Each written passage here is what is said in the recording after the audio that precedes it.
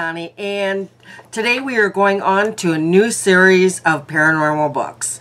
And we just finished the Laurell K. Hamilton, Anita Blake's uh, Vampire Hunter series, and now we are going to go on to Charlaine Harris's books, one of her series.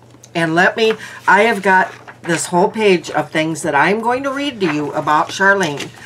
But um, I'm not going to do this every video. I'm just going to do this today. So if you want to hear more about her, you'll have to come back to this video because this is just too much to read every single time.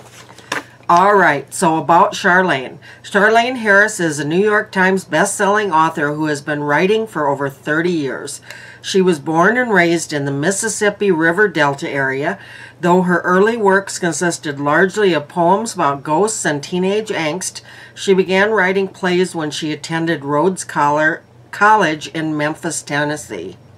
She switched to novels a few a few years later and achieved my goodness, I cannot read today either or talk.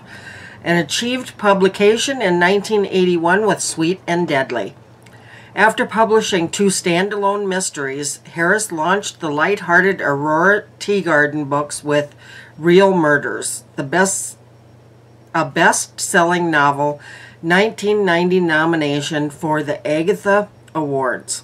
Harris wrote eight books in her series about a Georgia librarian.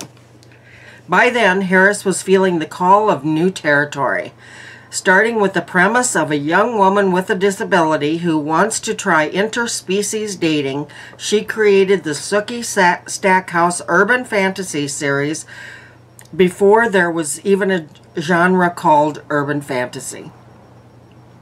Telepathic barmaid Sookie Stackhouse works in a bar in the fictional northern Louisiana town of Bontemps. The first book in the series, Dead Until Dark, won the Anthony Award for Best Paperback, paperback Mystery of 2001. Each subs subsequent book follows Sookie through adventures involving vampires, werewolves, and other supernatural creatures. The series, which ended in 2013, has been re released in over 30 languages. Sookie Stackhouse has proven to be so popular that Alan Ball, creator of the HBO television series Six Feet Under, announced he would undertake the production of a new HBO series based upon the books. He wrote and directed the pilot episode for that series, True Blood, which premiered in the September of 2008. In October 2005, the first of Harris's new mystery series about a young woman named Harper Connelly debuted with the release of Gravesight. Harper has the ability to determine the cause of death of anybody. After four novels, this series is on hiatus. Now Harris is working on a trilogy of graphic novels with Christopher Golden and artist Don Kramer, Cemetery Girl. On her own, she is writing a new series set in the small town of Midnight, Texas. Personally, Harris has been married for many years. She is the mother of three wonderful children and the grandmother of two. She lives in central Texas, and when she is not writing in her own books, she reads omnivorously. Her house is full of rescue dogs. Okay. That was kind of boring, huh? Unless you're really interested about Charlaine. Okay, the first book we're going to talk about, and I couldn't find a ton of information about this stuff. I mean, there is stuff all over the internet, but um, just, you know, little sentences. I didn't want to drag it on too long, but this is the first book. And they've had several different covers, but these are the, the um, mainly the, the same type of covers for all 13 books. Just cute, huh? Okay, and this is Dead Until Dark. Sookie Stackhouse is a small-town cocktail waitress in a small-town Louisiana. She's quiet, keeps to herself, and doesn't get out much. Not because she's not pretty. She is. It's just that, well, Sookie has this sort of disability. She can read minds, and that doesn't make her too dateable. And then along comes Bill. He's tall, dark, handsome and Sookie can't hear the hear a word he's thinking. He's exactly the type of guy she's been waiting for all her life. But Bill has a disability of his own. He's a vampire with a bad reputation. He hangs with a seriously creepy crowd, all suspected of, big surprise, murder.